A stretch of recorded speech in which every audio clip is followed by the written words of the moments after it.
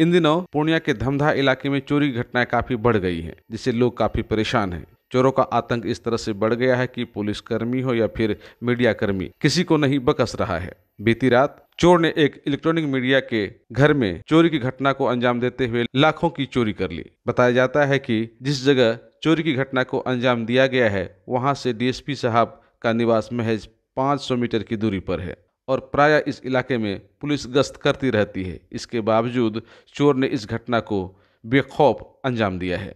चोरों ने मुख्य गेट को तोड़कर अंदर प्रवेश कर लिया और घर में रखे महँगे सामानों और कैश की चोरी कर ली। सूचना मिलने पर धमधा थाना अध्यक्ष दिनेश कुमार ने स्थिति का जायजा लिया। इस संदर्भ में प्राथमिकी दर्ज करने के बाद आवश्यक छानबीन प्रारंभ कर दी गई है। खोजबीन के दरमियान घर के बगल के खेत में ही कुछ सामान बिखरा पड़ा मिला।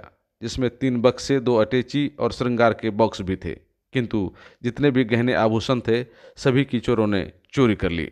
बिखरे हुए सामान को चिन्हित कर पुलिस मामले की तफ्तीश कर रही है। इस संदर्भ में पीड़ित दंपति ने बताया कि वे अपने भैगना की शादी में रुपोली तेलडिया गाँव गए हुए थे। करीब छह बजे उन्हें स्थानीय लोगों के द्वारा दूरभाष पर यह सूचना मिली कि उसके घर का ताला तोड़कर चोरों ने चोरी की घटना को अंजाम दिया है और कुछ सामानों को खेत में छोड़ दिया है, जिसके बाद आनंद फानन में वे घर पहुँचे और सब कुछ देखकर अचंभित रह गए। बताया गया कि चोरी में सोने का मंगलसूत्र, लॉकेट, अंगूठी, सोने का कुंडल, चांदी का पायल के अलावा पैंसठ हज़ार रुपया कैश की चोरी की गई है।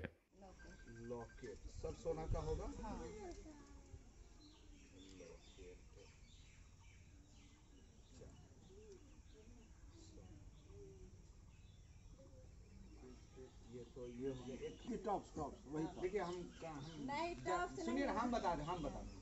कान में पहनता है टॉप्स कान में पहनता झुमका कान में पहनता है बाली।